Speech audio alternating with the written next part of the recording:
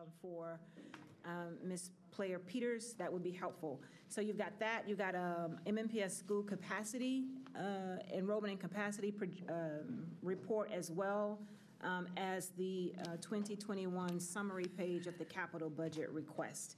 So we had a really good discussion, and thank you all again for hanging in there with me, and I finally made it. I was really waiting for that text, though. Oh, David, you disappointed me. Uh, uh, You did, a, um, we had a a great discussion, and so um, Chris is going to lead us through this document, and um, I've got some pointed statements I'd like to make, and I will take full responsibility for everything that comes out of my mouth. Take it away. Thank you, Dr. Gentry, and uh, good afternoon, everyone. The, uh, the first one that I'll just mention would be the one that is color-coded, that's uh, uh, landscaped. Um, This is a much more condensed version of the real document, which is right here, uh, where we have a lot more columns that we uh, don't have displayed here, just so that it's easier to read. Um, But what we've tried to do uh, each year when we uh, discuss the capital improvement budget request is to provide you with information about each of the facilities or uh, geographic areas, uh, concentrating mainly on the year one request, which is represented by column H. Uh, The year one request would be uh, what we are asking or requesting to be funded in the next capital spending plan.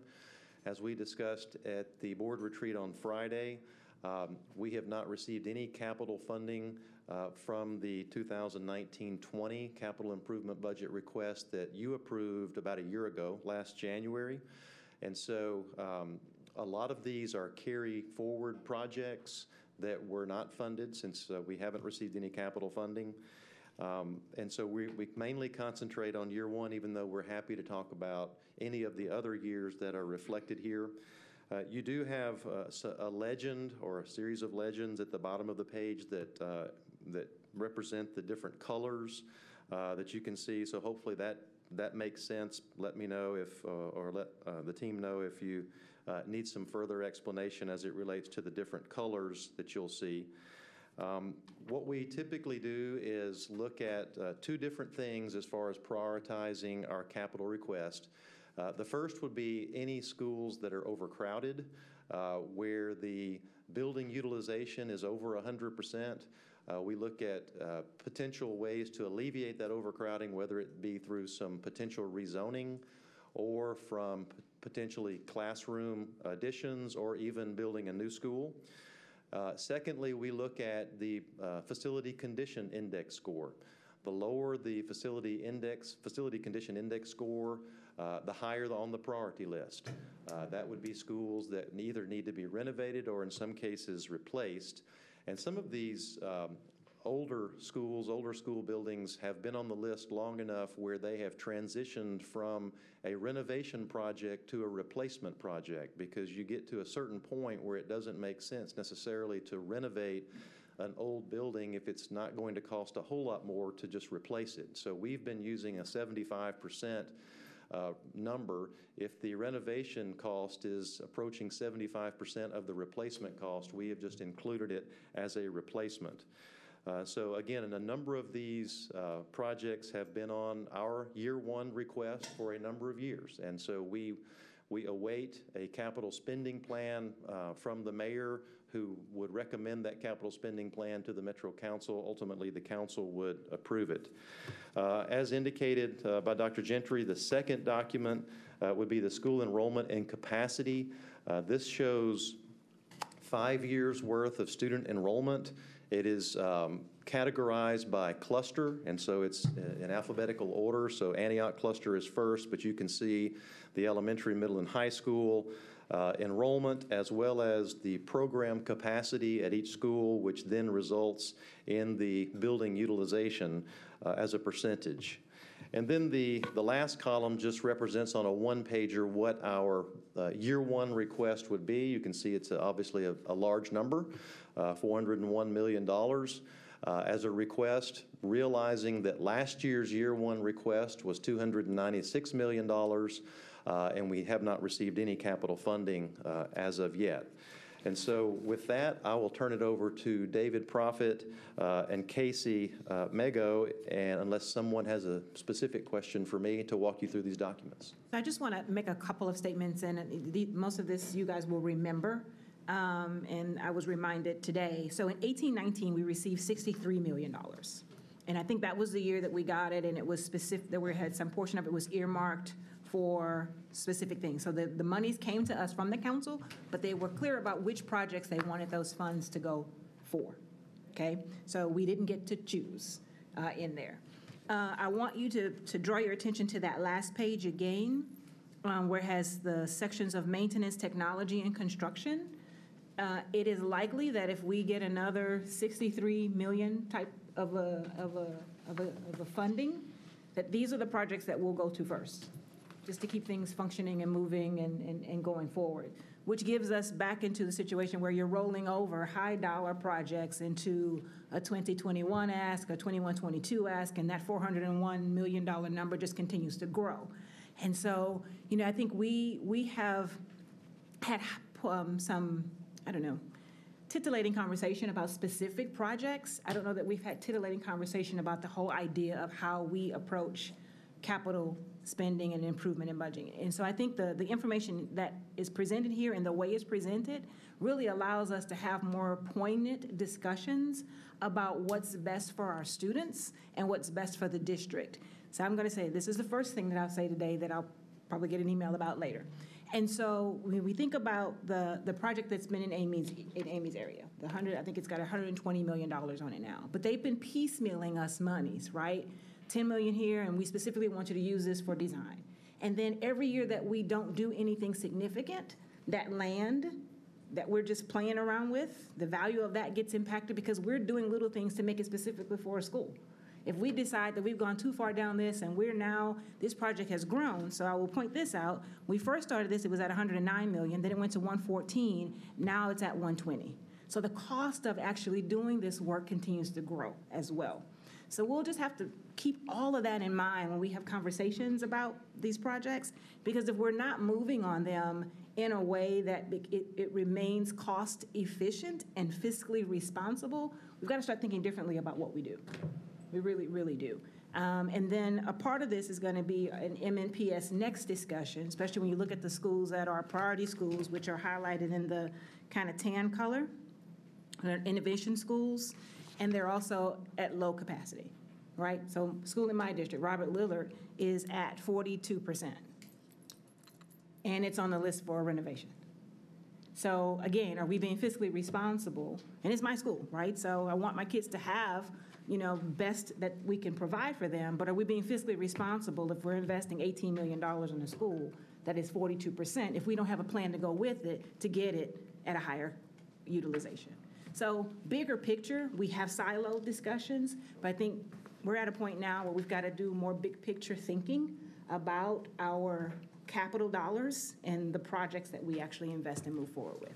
Thank you. Board members, Dr. Battle, how are you?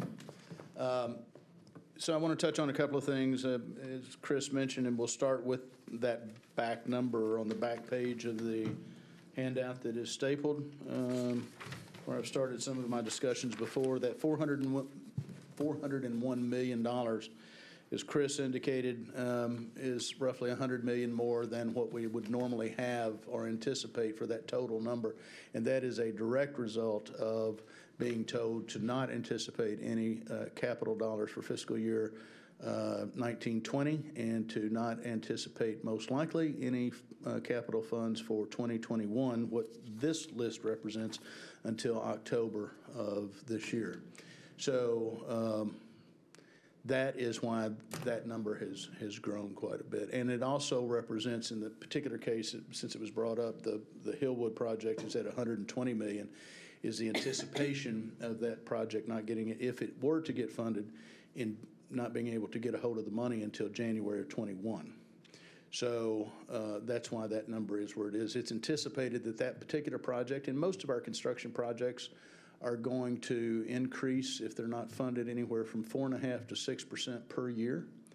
Um, We have escalated, uh, because Hillwood is such a large number, we've escalated it on a quarterly basis, and it's roughly 1.25% uh, per quarter uh, that we don't uh, lock in the price vis-à-vis a- a a bid process and that sort of thing and get it actually started. So that's where we are right now. The other projects, um, three prime examples of what Dr. Gentry expressed uh, relative to renovation and new, or what Chris expressed too, um, on the 75% rule, as we like to call it, um, is Goodlettsville Elementary School, Percy Priest, and Lakeview. Uh, All three of those, uh, three years ago, were renovation projects because escalated, their estimates went above that 75% mark. Um, They've turned now into brand-new replacement schools. As we go forward, um, I guess to address what uh, some of Dr. Gentry's concerns, um, when we have these projects that go forward like this, we, and, and not funded, we're sitting there with projects that we're having to repair. Goodlettsville Elementary is a prime example. Um, We've had to go in in one particular wing and re, uh, uh, rework the entire HVAC system in one wing because the components in that wing failed. And we obviously can't let our kids not have a, a performing school. So, uh, but that's monies that we would not have had to have spent had it been properly funded. So that's, that's sort of where we are. Uh, Some of the other projects, we uh, have, we are in the process of buying uh, property now um, uh, for the new Cane Ridge Cluster Middle School in the Antioch area. And uh, so we are asking for the design fees for the new school on it this year, so we can get that started. And then in year two, as it's indicated here, we'll ask for the actual construction dollars for that school. Uh, We have the three previously mentioned schools, Goodlettsville Elementary, Lakeview, and Percy Priest included. Uh, They're again carryover schools from previous uh, budget requests. And then we have um, the build-out of the third floor of Goodlettsville Middle School as well that we need to just go ahead and, and get done. And that will take care of that school for years, to several years to come uh, relative to capacity. Uh, Beyond that, we do have Robert Lillard on there, as Dr. Gentry talked about, which we hope will be discussed uh, a little bit more as we move ahead in, in some of our discussions yet to come. And then uh, about what we can do with the school. And then Westmead Elementary is on there, and as we talked to Ms. Frogge um, and explained that project, uh, we've asked for the design fees only, uh, as its actual construction then would be contingent upon uh, the Hillwood High School project being complete, so we can use the current Hillwood High School as swing space for the students at Westmead.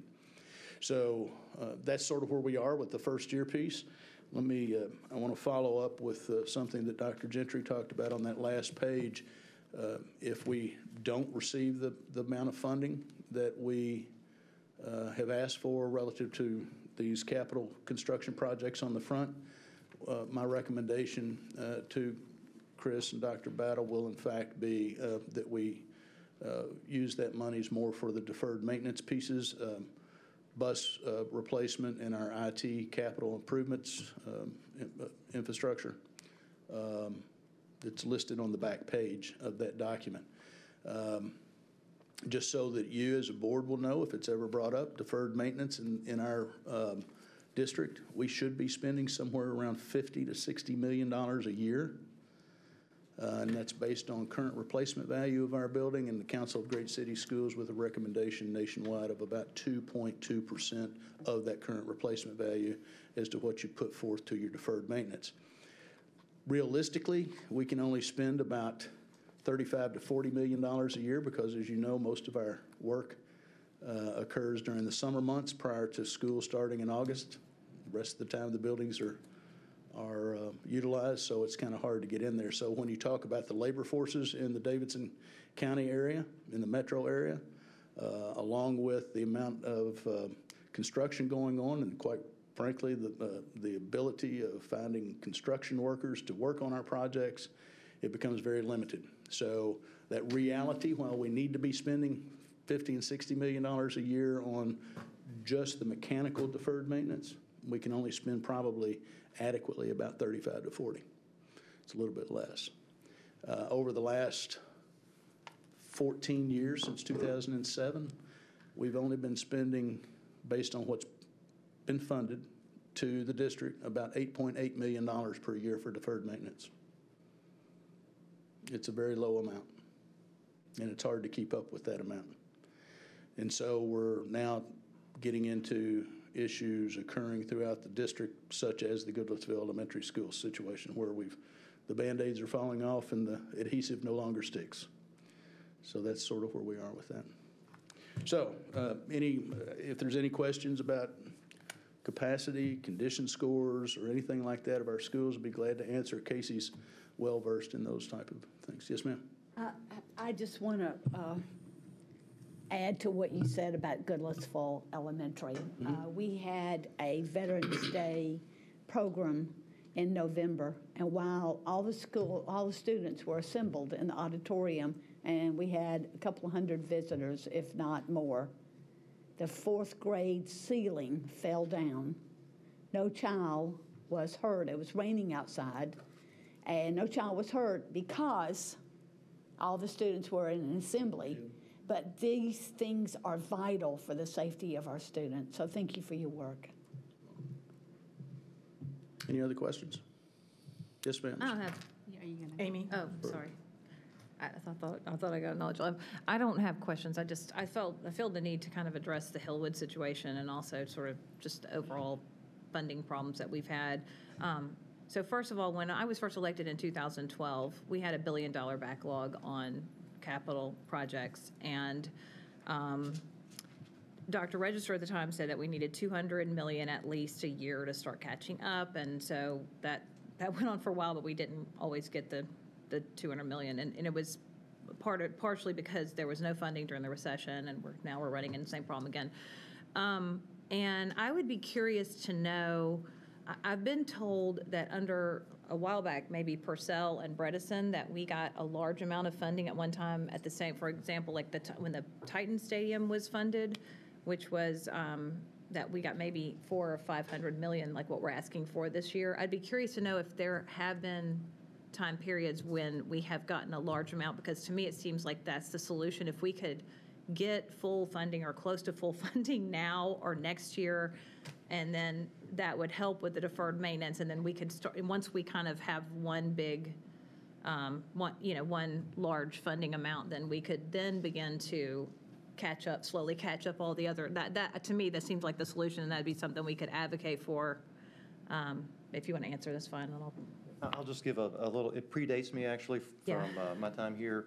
Back, I think it was around 2000, then Mayor Bredesen, as part of the uh, desegregation case, uh, where the district went into unitary status and uh, the, the desegregation case was dismissed, there was a, a large capital um, uh, allocation to the school district for a number, a large number of projects throughout the district. I don't have the exact number, but I know that it was probably more than we've received since I've, it is more than we- received since I've been here.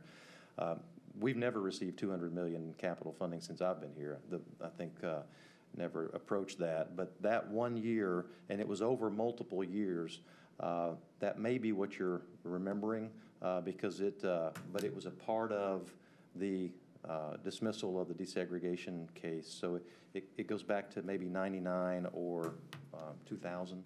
But I know David has a listing of, of what we've received, I think you've, since 2007, so he can go over those. Okay. We've had uh, capital funding anywhere from as little as, I don't have a cumulative total of, to- of the capital, but uh, as little as um, $60 million, which was in 2019, um, all the way up to 150, I'm getting old, sorry, 154 million uh, in 2017. Of course, that was when we were budgeting for Hillsboro, and 48 million, I believe, of that one year was for that, and 40 million the next year. Um, So, I mean, I can get you this total, be glad to share this particular document with you. Um, The, um, it, I've created this particular document to, to look at deferred maintenance.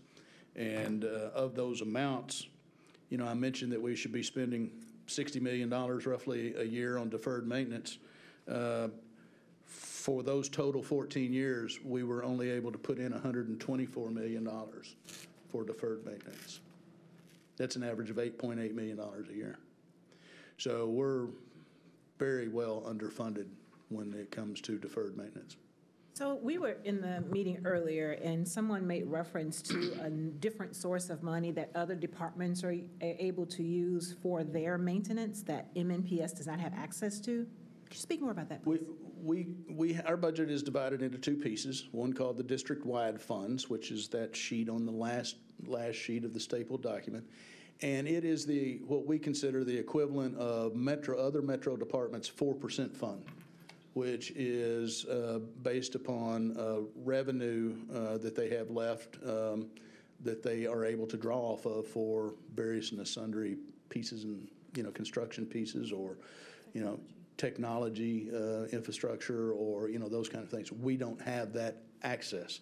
So this becomes our four percent fund, this district-wide piece. Is it because we're not revenue generating? Why, why don't we have access? I, Chris could answer that better than I. I don't really know that, why it's divided out there, or why we're not able to do that, other than possibly through the charter. I, I I don't know myself. Just thought I'd throw it out there.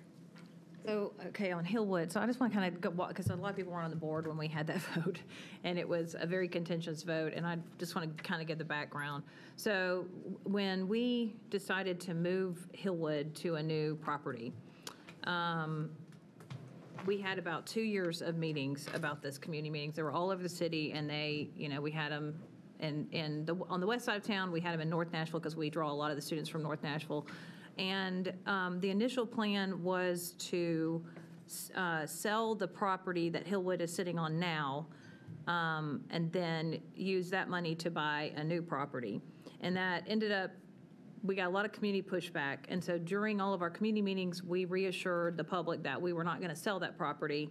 Um, And I am, you know, if, I don't have a problem selling a property if we just can't use it. And that's what happened with Brookmead last year in my district. We had a, a property that just, we tried for years, we looked at different ways to repurpose it, and there really was not a good use for it for the district, so we ended up selling that. And I was fine with that. The Hillwood property, um, First of all, and I can't remember what the, what the appraisal was on it, I don't know if you remember, but it, it was, it, it would, I mean, I want, I want to, I wanted to hazard a guess because I'll be wrong, but it was not, um, it wouldn't have offs- offset the, the, um, the, the purchase price of the new, or the new facility by much. And so, so that's part A. But part B is there are a lot of um, different uses for that property that we've discussed. Um, We, we're talking about, we need a- an ex- expansion or a new middle school. We need um, Westmead Elementary, like I've been told, literally, like there, people can poke a finger through a, a corner of the wall because uh, we just desperately need to rebuild Westmead Elementary. But everything in my district is hinging on this high school, so we can't really do any of the other projects till we get the high school done. And then, so people know, we've bought the property, the new property for the high school. It has been leveled out. We have a really great plan that I got to go in and, and see with the architects. And, um, but it's, I mean, we've invested quite a bit in the new property, so if we were to scrap this project, we're, it's, it's a big waste of funds that we've already put into it.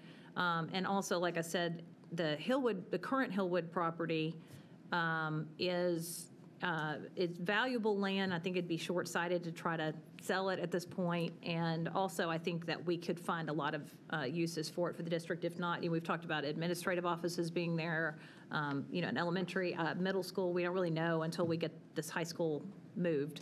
Um, And then the current Hillwood property, which I know is probably not much different for all of you all, but like, you know, there's reports of roaches and, you know, you know, rats, and, I mean, it just needs, we really need a new facility. It's just, and it's, and we looked into trying to renovate it on the current property, and it just didn't make any sense because we would have spent a lot of money renovating it, and then it would have um, not served our needs very well. And so that's really the reasoning behind it. I know it's expensive. I hate that the cost keeps going up, um, but that's just a function largely of the fact that we're just not getting funded, Yeah, so. Exactly. And so it's not, Right. the, the Yeah, yeah. suggestion is not that we even consider scrapping it. The point that we Yeah. need to reiterate and keep pushing with Right. our partners over here across the way Right. is that Yeah. we are losing money and, Yeah. and it's costing us more the more they defer fully funding it or funding us enough so that we can start to make some progress. Right. To So I think, Frank, you had your hand up Yeah, first. okay, so where are we on my, my school? Just break it down. Which You got the, school? uh, for the middle school in Antioch. Antioch Middle School? Uh, Yeah. no, no, no, just the middle school in my district. Where are we at? As far as, I know you purchased land. The Got Cane? Ridge Cluster Middle Yes. School, yes, ma'am. Yes. Give We some are- updates on that. We are in the process of purchasing the property. Okay. Uh, So the we sh- land has not been bought yet? We are in the process of it. It hasn't been paid for yet, but we have a contractual agreement to buy it. How much? Um, 2.9.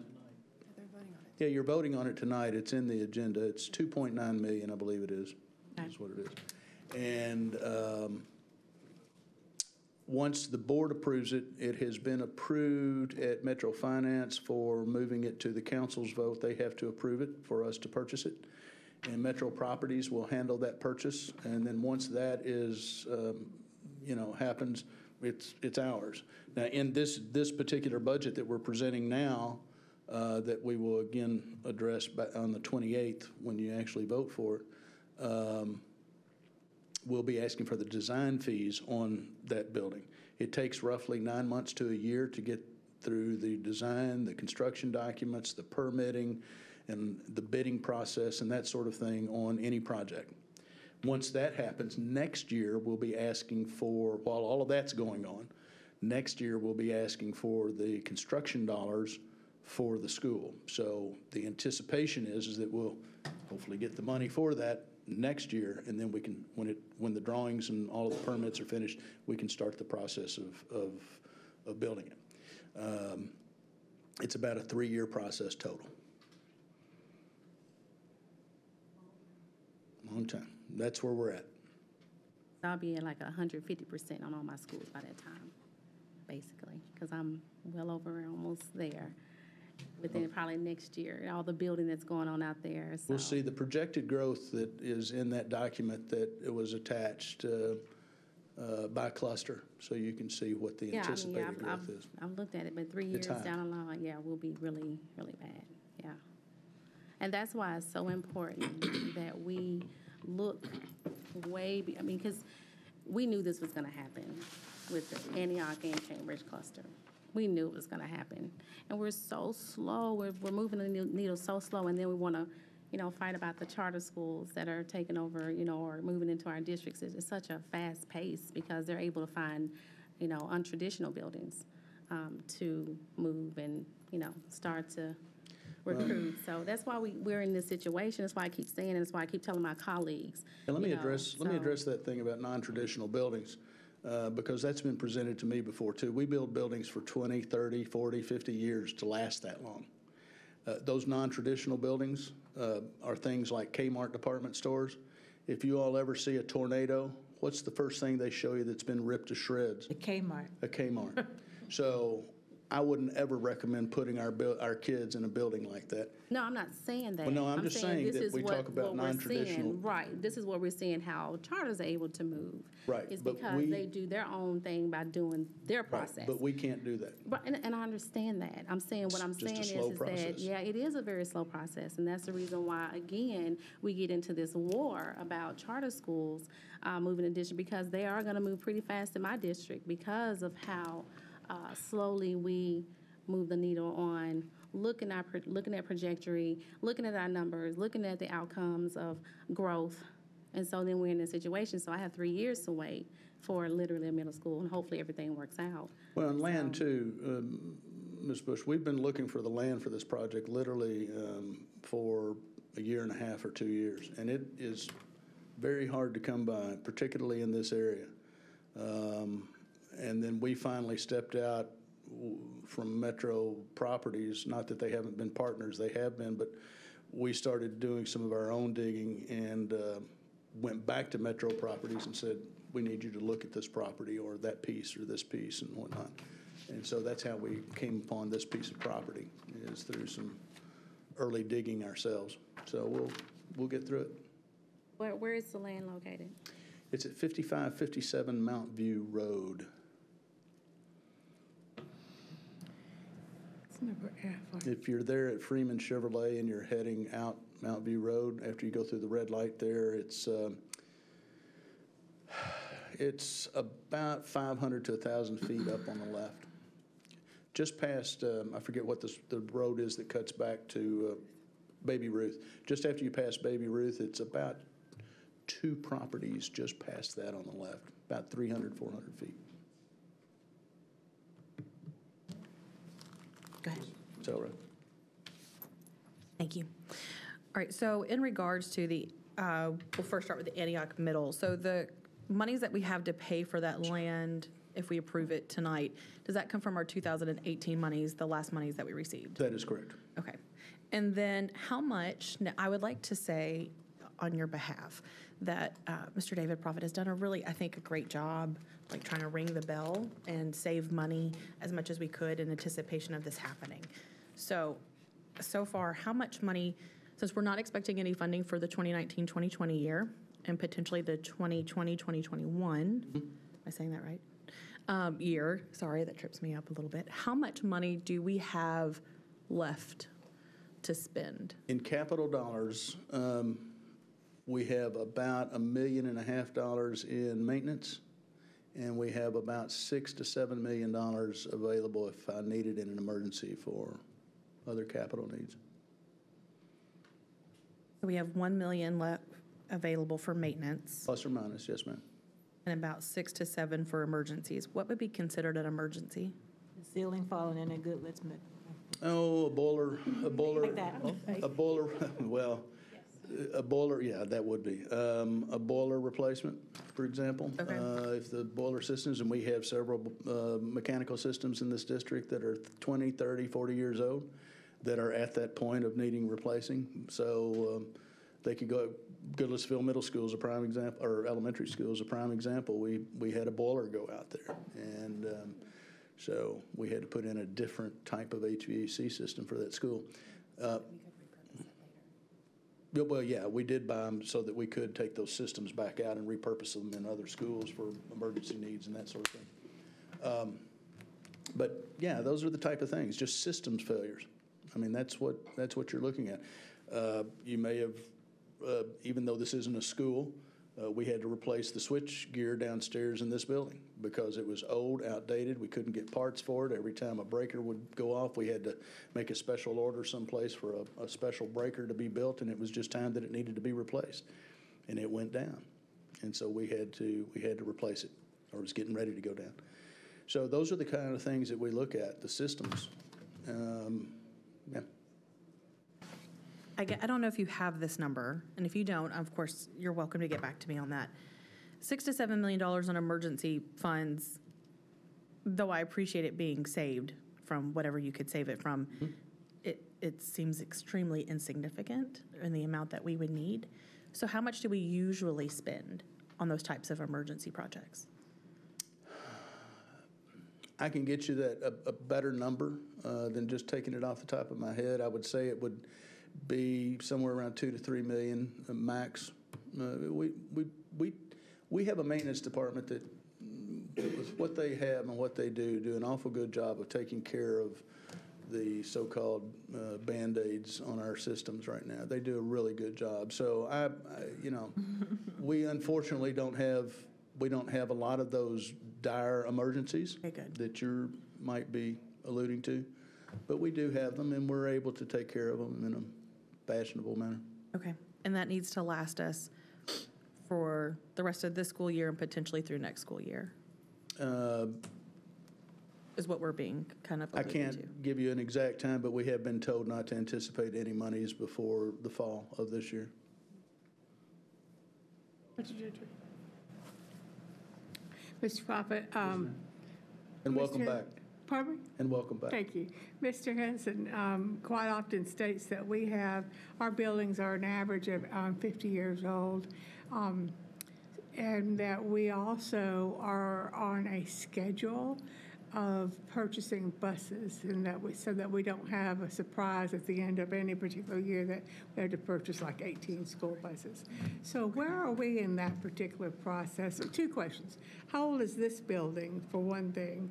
And then, totally unrelated, where are we in the process of purchasing school buses?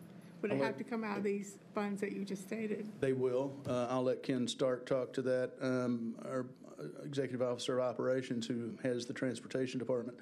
Uh, Relative to this building, it was built in three or four pieces, so I can get you those years. Uh, I think the front piece was, don't hold me to this, it was like 1930s or 40s. Wow.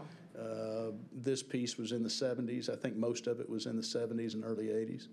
So, but I can get you those exact numbers. And Kim, you want to? I'll jump in Oh, real okay, quick. sorry. That's okay. Um, Well, I guess the, the question relating to this building, of course, uh, part of this building was a school uh, back a long time ago. Uh, This particular area was added later, uh, probably around the same time as the tower that connects to the two buildings, which was in the 70s, which Joe Edgens actually was the architect on, on that uh, addition. And then the front part, you can tell, is, is old. I don't have the exact years. I know there's a, uh, a cornerstone right out here, where am I? Right out here for the school itself. Um, and I can't remember the year, but it's a, it's a, it's three different buildings, almost four cobbled together. As far as the, the buses go, yes, we do fund bus replacements uh, from our capital budget. Uh, There's a state requirement to um, replace buses when they reach uh, 15 years of age, and so we do have a, a schedule that we plan so that we don't have a huge number in any one year, or try not to. But again, it's all very capital dependent. Uh, Ken can provide a lot more information regarding the number that we would need to replace on average to stay current. Um, Good evening. Um, We're uh, aiming our fleet, when we try to right-size our fleet, to have about 600 buses in it. Um, If you divide 15 years by 600, it means we need to be buying about 40 a year. Um, A school bus um, costs on average about 100,000 each. Um, Some are a little more, some are are a little less, but on average, 100,000 is a good, um, pretty round number. Um, We have not, uh, I think we hit the 40 number two years ago. Um, Last year, we were a little bit shy of that, and again, this year, we don't, we haven't gotten any money, so we're not, doesn't look like we're buying any this year. Um, The other piece to keep in mind is we also have a fairly significant white fleet. Um, The white fleet has a value of about um, $10 million across all, that's all of our maintenance trucks, our delivery trucks, food service trucks, the sedans, the, the whole shooting match. If you figure a 10-year lifespan for, you know, these are, they're, um, they're, you know, regular commercial vehicles, so you figure 10 years, that means we need to be spending about a million dollars a year on white fleet replacement just to maintain a 10-year lifespan. So we should be spending about um, a a minimum of $5 million a year on average just to keep the, to be hitting at those maximum um, uh, life expectancies, the, you know, the state mandates the 15 years if you were to talk to fleet experts, what they would tell you is keeping vehicles 10 and 15 years is not a great plan. Um, they're inefficient. You can get much more efficient cars. You're doing a lot of maintenance. We should really be looking at replacement cycles that are significantly shorter than that, probably 10 or 11 years on the buses. Um, and kind of where you're getting rid of them right as the extended warranties run out. On White Fleet, we should really be looking at probably something less than five years, um, especially with um, maintenance kind of vehicles. Um, you can turn them over relatively quickly and have a more efficient, newer fleet that is cheaper to operate and maintain. But it takes capital funding to do that. So you said it was every 15 years On the school buses, of the 15 school years. buses? Yes, ma'am. So do we have any this year that we have to replace? Um, We've got enough um, space in our fleet that, w- that we can, we can extend them past the 50 year, 15 years. We have to pay extra from that. We've been working very hard over the last couple of years to downsize our, um, to downsize our fleet. So I think we're okay at the top end, but we're just, we're going to have to make it up at some point. At some point, we, it, the bills all come due, and there'll be a year where we're going to need to do an 80 or a, um, or a 100 bus purchase, and that's, you know, again, multiply them all times a 100,000, it's an 8 or a 10 million dollar thing if you, if you push it all into, when you try to make it up. Just clarifying question. so The five million um, ideal, the ideal number, is that for the buses and the white fleet or just white fleet? Um, That's the, that's kind of the ideal if we're on a consistent cycle just for the vehicle replacements. That doesn't cover some of the other capital things that we need, but But that is buses and White Fleet together. Okay.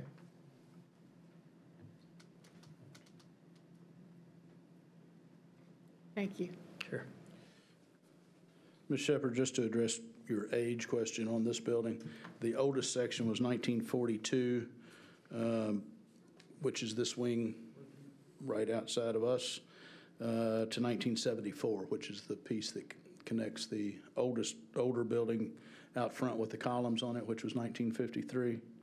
And then the rest of it was done in the 60s, 65 and 66. The room we're in was 1966.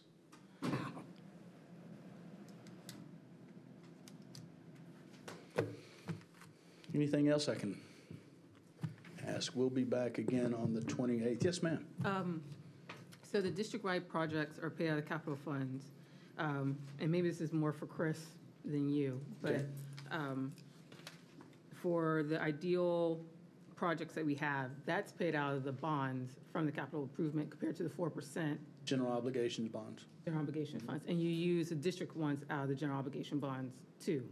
It's all funded out of the same pot. Well, And all of the financing is handled downtown by Metro Finance. We're not involved in any determination of how that's funded. I know they do have commercial paper that they use on a short-term basis before they turn them into general obligation bonds. Uh, So they handle all of that downtown. We don't handle any of the debt um, associated with the capital. Um, And then back to Dr. Gentry's question, I I got an answer um, from, uh, from Sean. The 4% fund, uh, apparently that's uh, in the Metro Charter, and it's 4% of the General Services District funding uh, that's held uh, aside during the, uh, I guess during the budget process. And so that's for basically all of Metro general government, not for us, since we are in a separate fund. But that 4% is laid out in the Metro Charter. And, and the Metro departments use that for uh, roof repair, deferred maintenance, technology, and, and that kind of, vehicles, I believe, and that kind of thing. Whereas we fund all, have to fund all of ours through our capital budget request. We do not break out our budget compared to the metro budget from the USD and the GSD, like, we keep it all one unified. Okay. Any other questions? Going once? All right, thank you all so much. Right. So we meet, we meet again two weeks before. Yep, the 28th. Adjourned.